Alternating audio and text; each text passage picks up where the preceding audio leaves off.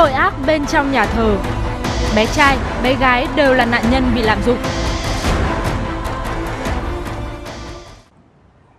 Đêm đó, linh mục bảo tôi ngủ cùng. Nửa đêm tôi tỉnh dậy thì tôi thấy ông ta đang ve vuốt khắp các bộ phận trên cơ thể tôi. Tội ác được bao che trong suốt 70 năm mới chỉ được phanh phui.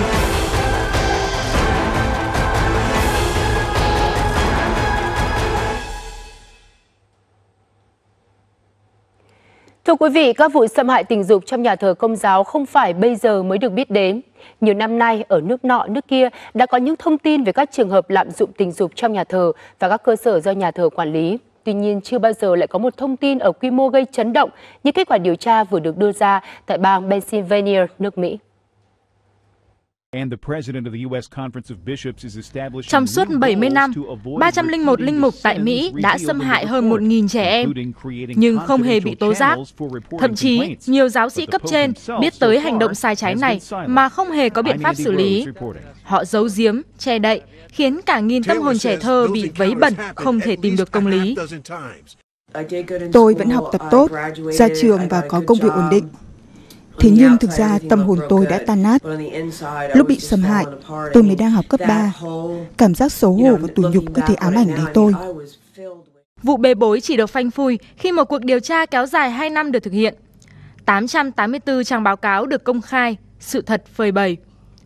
Nạn nhân có cả bé trai và bé gái. Bê bối không chỉ dừng lại tại Mỹ, tại Chile hồi tháng 5, 34 giám mục đồng loạt xin từ chức sau bê bối bao che hành vi lạm dụng tình dục trẻ vị thành niên của một vị linh mục nước này. Báo cáo còn cho thấy có 104 nạn nhân được xác nhận. Cảnh sát điều tra 70 linh mục liên quan. Tuần qua, bê bối lạm dụng tình dục của các thành viên nhà thờ công giáo cũng làm sôi sục Ireland. Đặc biệt khi Đức Giáo Hoàng Francis có chuyến thăm kéo dài 3 ngày. Hàng loạt các nạn nhân gửi thư tố giác tới Đức Giáo Hoàng. Trước vấn đề này, Đức Giáo Hoàng đã thừa nhận nạn ấu dâm tại nhà thờ là nỗi đau và sự hổ thẹn đối với bản thân ông và toàn cộng đồng công giáo. Sự thất bại của giáo hội gồm các giáo sĩ cấp trên, giám mục và linh mục trong việc xử lý những tội ác kinh hoàng đã gây phẫn nộ và tiếp tục là nỗi đau cũng như sự hổ thẹn đối với cộng đồng công giáo. Bản thân tôi cũng cảm thấy tương tự.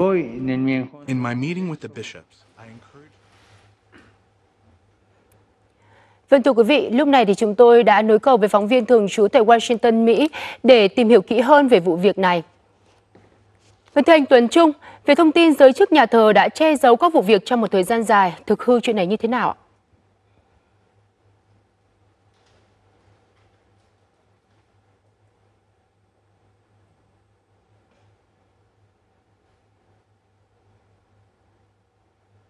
Chỉ cách đây 2 ngày, thì Tổng trưởng lý bang Pennsylvania còn khẳng định rằng Vatican à, từng nhận được các cái báo cáo về vấn nạn này à, từ các giáo phận liên đới.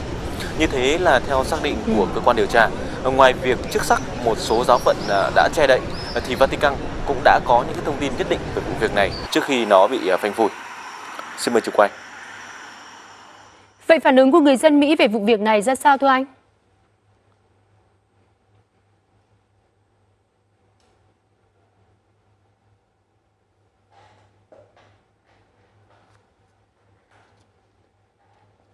Vụ việc à, đang lan rất nhanh. Lạm dụng tình dục trẻ em ở Mỹ là một tội lớn và rất được à, sự chú ý của công luận. Hiện thời thì ngoài bang Pennsylvania, không ít các bang khác như là Illinois, à, Missouri, Wyoming, New York cũng đã bắt đầu dậm dịch việc mở điều tra diện rộng về tình trạng này tại các địa phương của mình. Không chỉ mở các cuộc điều tra mới, giới chức một số bang như là New Jersey thậm chí còn kêu gọi xét lại một số vụ án lạm dụng tình dục có liên quan đến tu sĩ, cũng như là sửa đổi luật nhằm nới rộng thời hạn để các nạn nhân có thể trình báo các vụ việc à, xâm hại tình dục. Xin mời trường quay. Việc bước vào nhà thờ với người đàn ông này đến nay vẫn là một rào cản khó có thể vượt qua. Năm 11 tuổi, ông được một linh mục mời đến nhà thờ để nghỉ cuối tuần. Đêm đó, linh mục bảo tôi ngủ cùng. Nửa đêm tôi tỉnh dậy thì tôi thấy ông ta đang ve vuốt khắp các bộ phận trên cơ thể tôi. Đó không phải lần duy nhất.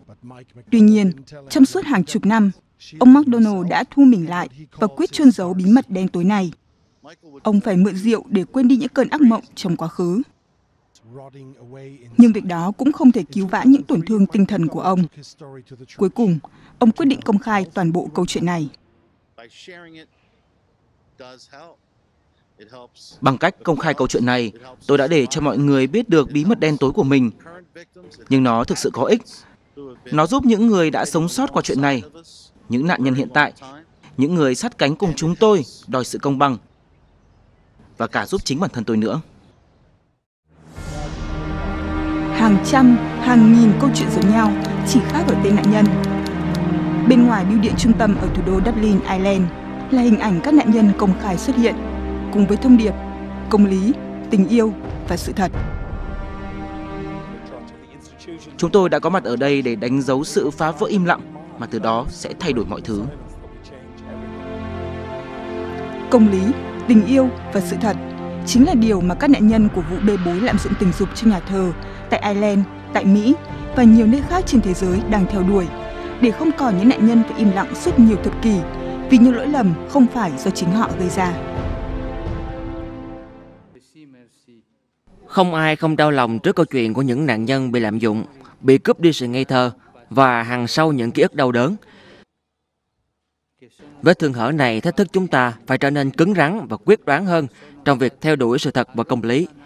Chúng tôi cầu mong sự tha thứ.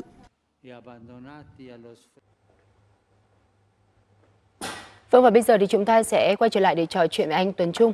Anh Tuấn Trung này, giáo hoàng và nhà thờ công giáo đã công nhận sự thật và lên tiếng xin lỗi. Tuy nhiên cụ thể thì giới chức nhà thờ đã có hướng giải quyết gì chưa ạ?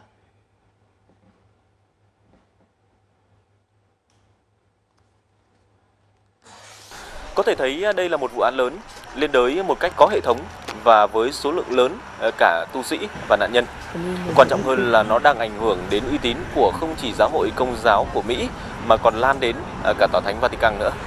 Vì thế, kể từ khi vụ việc bị phanh phui cách đây à, nửa tháng, thì đích thân à, Đức Giáo Hoàng đã viết thư cho giáo dân lên án vấn nạn này. Còn các chức sắc trong giáo hội công giáo của Mỹ thì nhìn chung là đã tích cực phối hợp với các cơ quan chức năng à, khi có yêu cầu. Đây là những nỗ lực ban đầu của giới chức sắc trong giáo hội. Hiện giờ thì dư luận trông chờ những động thái chính sách cụ thể của Tòa Thánh nhằm góp phần triệt để ngăn chặn vấn nạn này trong thời gian tới. Xin mời trường quay. Vâng, xin được cảm ơn anh Tuấn Trung. Thưa quý vị, Hồng Y người Mỹ Cupich đã nói, vụ việc này là về giáo hội, về một nhóm người trong nhà thờ nghĩ rằng mình có đặc quyền và được bảo vệ. Đúng là như thế, Chính vì như thế mà những nỗi đau trên diện rộng cứ âm ỉ phá hoại bao nhiêu cuộc đời, những con chiên sùng đạo bao lâu nay. Niềm tin bị lừa dối, nguy hại hơn cho nhà thờ là sự mất niềm tin này không dừng ở những nạn nhân bị xâm hại mà đã lan ra rất rộng. Ở nước Mỹ, Chile, Australia, hàng chục vụ việc lại được công bố, nhiều tu sĩ đã và đang phải từ chức, bị điều tra thậm chí là ra tòa. Lúc này làm thế nào để những lời xin lỗi biến thành hành động mới là điều duy nhất đáng kể đối với các nạn nhân và 1,2 tỷ con trên công giáo trên toàn thế giới.